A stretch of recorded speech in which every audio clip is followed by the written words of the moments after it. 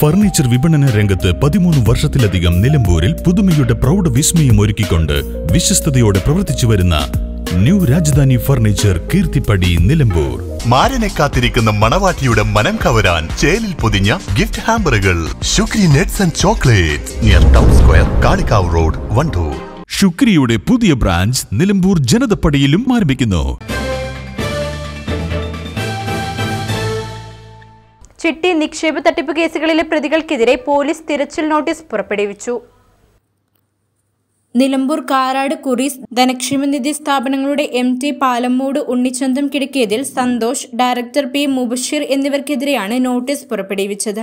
രാജ്യം വിട്ടു പോകാതിരിക്കാൻ എമിഗ്രേഷൻ വിഭാഗത്തിന് പാസ്പോർട്ട് ഉൾപ്പെടെ രേഖകളുടെ വിവരങ്ങൾ നൽകിയതായി കേസന്വേഷണത്തിന് നേതൃത്വം നൽകുന്ന ഇൻസ്പെക്ടർ ആർ രാജേന്ദ്രൻ നായർ പറഞ്ഞു.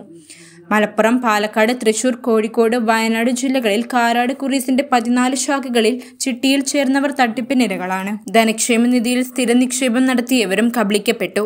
നിലമ്പൂർ സ്റ്റേഷനിൽ മാത്രം നിക്ഷേപകർ ജീവനക്കാർ എന്നിവരിൽ നിന്ന് അറുന്നൂറ് പരാതികൾ കിട്ടി.